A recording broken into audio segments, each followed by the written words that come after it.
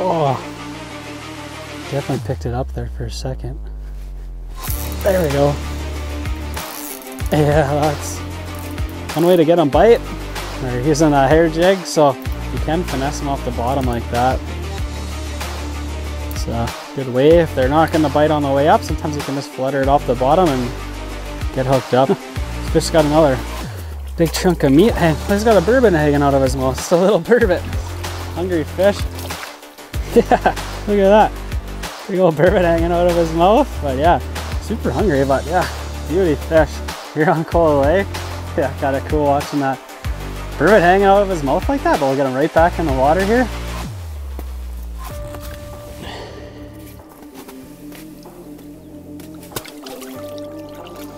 There he goes, back to the bottom.